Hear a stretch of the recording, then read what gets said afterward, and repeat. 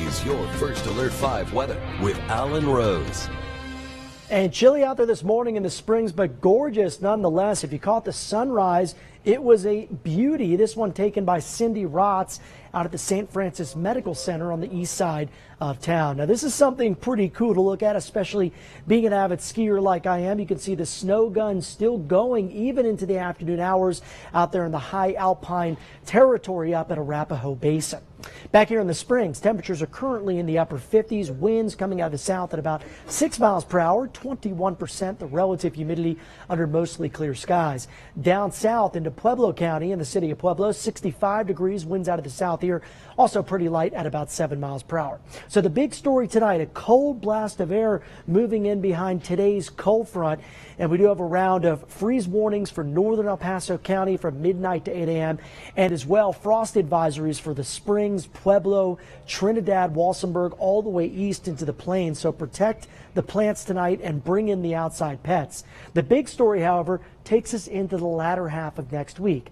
Timing, strength of the system, still up in the air. But here's what we know at this point. It's a developing area of low pressure right up there towards Alaska. This is going to be a late week weather maker here in southern Colorado, and it is going to bring cold, winter blast into the forecast with wintry precipitation possible by next Thursday. Now, before we get there, things are actually going to warm up. So, as I mentioned yesterday, a case of weather whiplash here in southern Colorado the next couple of days. Right now in the Springs in the upper 50s.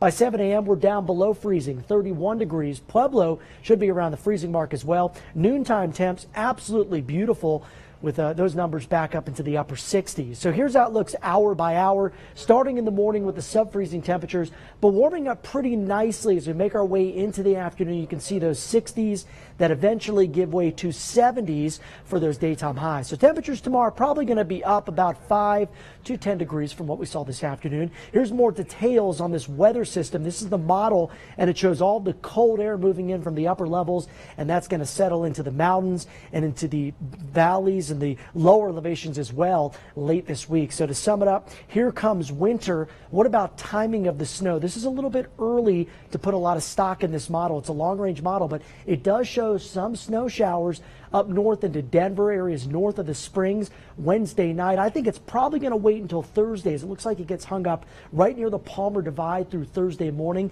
That would be the cold front. And then it does eventually want to swing down south during the day on Thursday. So this not only could be an event for the mountain areas where they could get several inches of snow, but it's possible some of our grassy surfaces could see accumulating snowfall heading into Thursday afternoon Thursday night as well before the system pushes east Friday morning and we begin to dry out.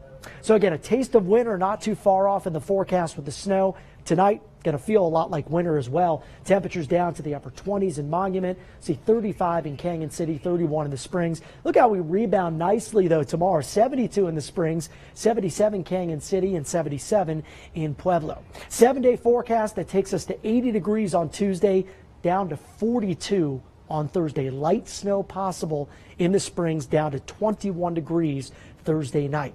For Pueblo, looks like we could see a mix of maybe rain, possibly snow Thursday as we drop from the mid 80s down to the low 50s. It's going to be a huge temperature swing. Cañon City all the way up to 82 and then 79, crashing down to 50 and 55.